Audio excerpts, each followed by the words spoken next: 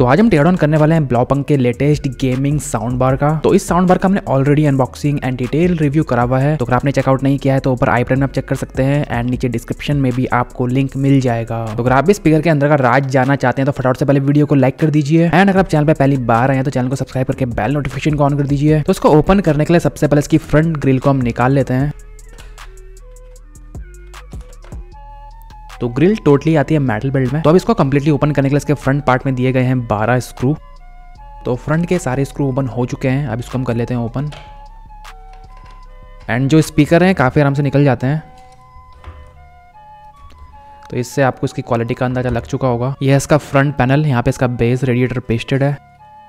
And जो white part है transparent है, जहाँ से एलईडी को ये फोकस करता है बाहर की तरफ़, जो बिल्ड है, जैसे मैंने आपको ऑलरेडी पहले ही बोला, काफ़ी एवरेज क्वालिटी की है। अगर ज़्यादा ज़ोर मारा जाए तो ये टूट भी सकता है काफ़ी आराम से। ये इसका मेन पार्ट यहाँ पे इसके स्पीकर बैटरी एंड एलईडी वगैरह दी गई है। यहाँ पे एक चैम्बर है, जहाँ पे इसकी मदरबोर्ड वगैरह है तो उसको हम ओपन कर लेते हैं। तीन स्क्रू यहाँ पे दिए गए हैं।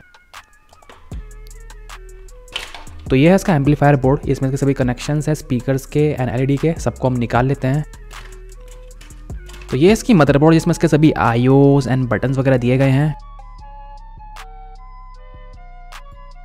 एंड ये है इसके दोनों स्पीकर्स तो थ्री ओम फाइव वोट इसके पीछे पे मेंशन किया गया है। तो टेन वोट टोटल आरएमएस हो जाता है स्पीकर का बट कंपनी इसको फिफ्टीन वोट आरएमएस बोलती है। फिफ्टीन वोट होना चाहिए इसका peak output and ten watt होना चाहिए इसका आरएमएस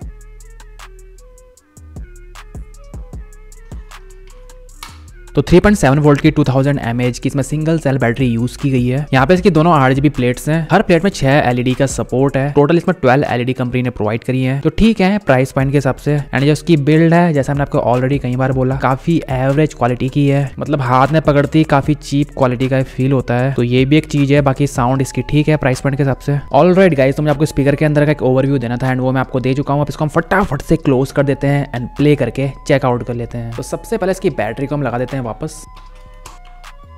तो इसको कम्प्लीटली क्लोज करने से पहले एक बार हम ऑन करके चेक कर लेते हैं।